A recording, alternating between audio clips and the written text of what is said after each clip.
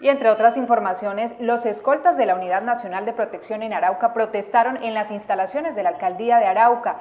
Exigen la nivelación de los sueldos y el pago de los viáticos.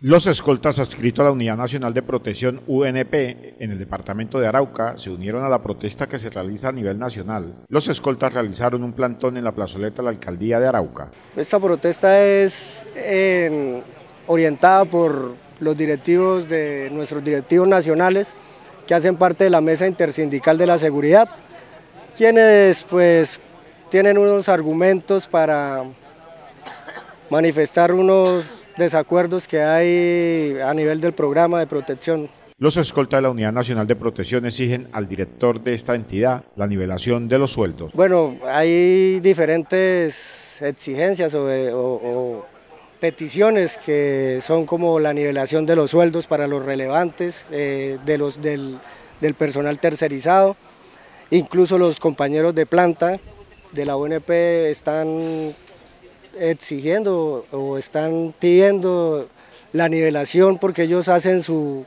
hacen una labor eh, idéntica a la que nosotros hacemos como personal tercerizado. Desde el mediodía se reúnen los presidentes de los sindicatos de los escoltas con el director de la Unidad Nacional de Protección en la ciudad de Bogotá. El día de hoy eh, están citados desde las 11 de la mañana, citaron los sindicatos que hacen parte de la mesa intersindical.